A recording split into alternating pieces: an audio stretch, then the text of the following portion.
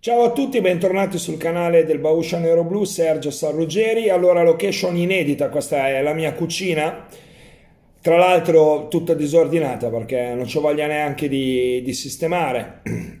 La pigrizia, la pigrizia in queste giornate fa parte di me, nel senso che meno hai da fare e più non fai un cavolo. Ho scelto questa location perché non mi sembrava il caso uh, di utilizzare comunque il, il, mio piccolo interclub che ho a casa perché è la sede di un interclub, non perché io non ami l'Inter, lo sapete tutti quanto amo i nostri colori, però comunque proprio per trasmettervi eh, questo, questo clima veramente surreale e questo stato d'animo un po' particolare, per il semplice fatto che sono praticamente in quarantena a casa mi hanno fermato il lavoro, come spero che lo fermino a livello definitivo in tutta Italia, per il semplice fatto che comunque ormai il problema è grave, l'abbiamo sottovalutato tutti e come se ne esce? Se ne esce stando a casa ragazzi, state a casa, poi a me tra l'altro in genere piace da matti stare a casa perché è il mio habitat naturale, qua mi rilasso, qua mi svago, qua eh, mi, mi, dedico, mi dedico a quello che mi fa star bene,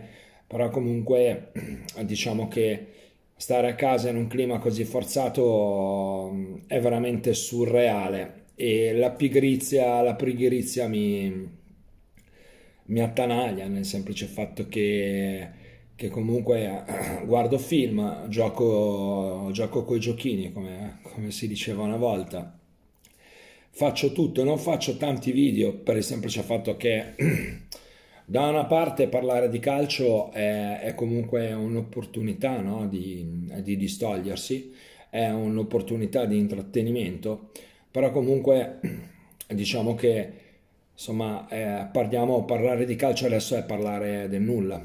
A me piace da matti parlare con voi, quindi farò comunque live, farò comunque video in questi giorni video un po' diversi dal solito per il semplice fatto che parleremo un po' di tutto e quando parleremo di calcio lo faremo per, per cercare un attimino di tenerci compagnia, ecco, diciamola tutta. Io l'altro giorno ho provato a fare una live e sono stato criticatissimo, ho perso anche degli iscritti perché non si può parlare di calcio in... Uh, in una situazione simile, avere a metà questa cosa per il semplice fatto che bisogna fare quello che, che più ci fa sentire bene e fare le live per me sono comunque un'opportunità per parlare con voi, mi piace molto e quindi ogni volta che faccio una live siete voi che decidete gli argomenti.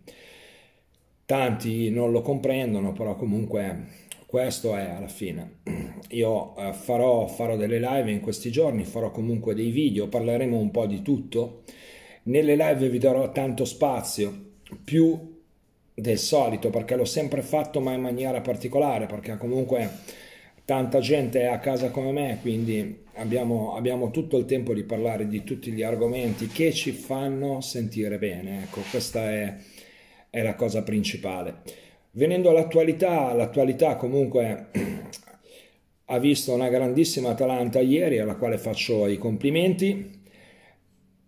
La città di Bergamo, città colpita, colpita da matti, forse anche più di Milano, in, di Milano in proporzione, però comunque almeno per una notte si sono un attimino distolti da, da quello che, che, sta succedendo, dalla realtà che, che vivono, quindi contento per, per l'Atalanta e, e, i bergamaschi.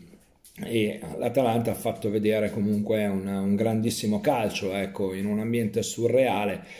Anche lì eh, abbiamo, abbiamo, parlato di, di restrizioni eh, siamo stati criticati da, da tutta Europa come al solito.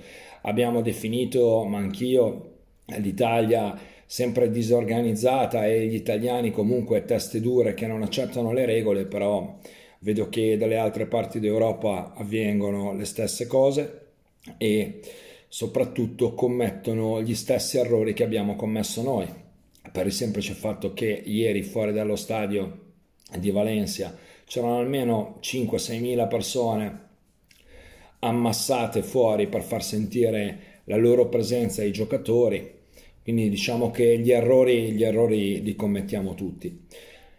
Comunque complimenti all'Atalanta. Anche se l'allenatore non lo posso vedere perché è la verità, però diciamo che giù il cappello, giù il cappello. Poi parleremo anche di calcio, eh, facendo un paragone tra quello che, che è il, il, il, modo di pensare al calcio di Gasperini e il modo di pensare al calcio di Conte. Però sono argomenti che svilupperemo mh, mm, non in questo video, ma magari nella live di oggi piuttosto che nei video dei prossimi giorni, dove vi darò veramente tanto spazio. Ecco, eh, veniamo un attimino alle notizie di oggi e giovedì, quindi domani, ci, ci doveva essere Inter Getafe.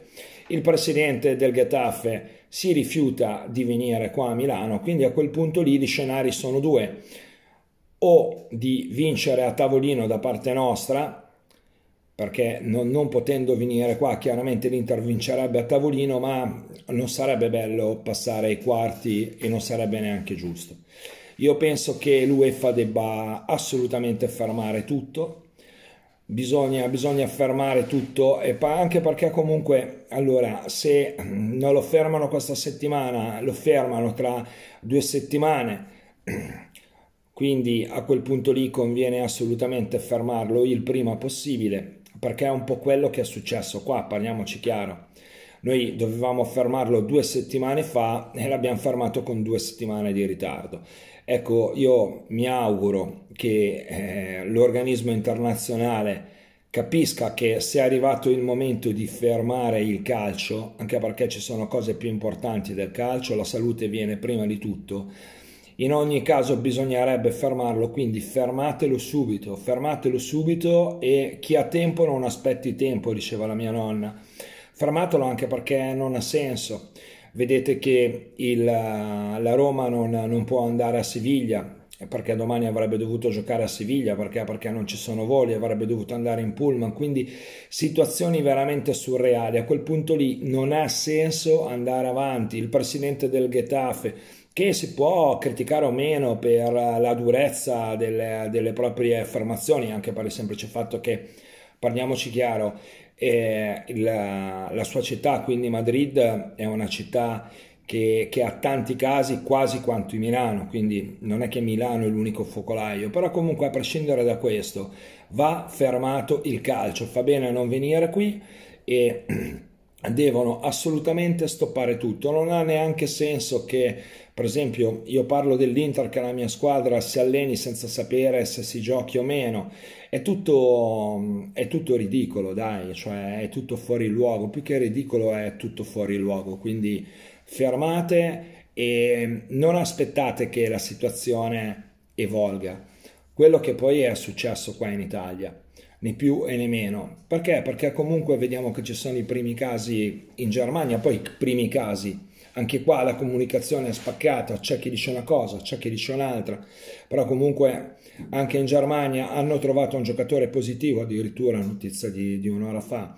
Quindi stoppate tutti i campionati. L'Arsenal in Inghilterra è messo in quarantena addirittura, quindi che senso ha fare le coppe? Guardiamoci le partite di stasera in Champions, eh, pensando che comunque siano le ultime partite prima, prima, della sospensione totale, sospensione che deve arrivare il prima possibile. Facciamoci la nostra quarantena, ma non solo qua in Italia, in tutta Europa, in tutte le parti del mondo coinvolte, perché questa è l'unica maniera per uscirne. Vedete che in Cina oggi hanno dato, oggi o ieri sera, hanno dato l'annuncio che hanno dimesso l'ultimo paziente e come hanno fatto? Hanno fatto perché l'unico modo è quello di isolare, ok? Di isolare e chiudere. Ecco, facendo così in un mese e mezzo hanno praticamente risolto eh, il 90% del problema e stanno ritornando alla normalità. Dobbiamo farlo anche noi e lo devono fare tutti in Europa, tutti quanti. Bisogna anche usare un po' di intelligenza, no? Perché si si punta sempre contro l'Italia, si sputa sempre contro gli italiani, però vedete che i deficienti ci sono ovunque. Eh, i, i, matti esistono ovunque, vedete che gli stessi errori che abbiamo fatto noi li stanno facendo dalle altre parti d'Europa, Quindi stoppiamo tutti, facciamo le persone coscienziose, rimaniamo a casa, usciamo solo ed esclusivamente per motivi gravi e evitiamo di contagiare le altre persone. Questo è l'unico modo di uscire. Poi, in ogni caso, il calcio deve assolutamente essere fermato, ma perché è assurdo andare avanti così, perché il, il calcio non è tutto, ragazzi. Il calcio non è tutto. Il mondo del calcio è fatto da esseri umani, quindi va fermato. E diciamo che il calcio si deve arrendere. Il calcio si deve arrendere. Si deve arrendere per 40 giorni, un mese e mezzo e poi vediamo. Ragazzi, io vi saluto, vi do appuntamento alla live che la farò nel pomeriggio in prima serata, adesso vediamo quando, quando riesco a farla dove parleremo di quello che volete voi. Quindi il Bauscia vi saluta, vi dà un grosso bacione, mi raccomando state in casa, ci vediamo dopo, un salutone.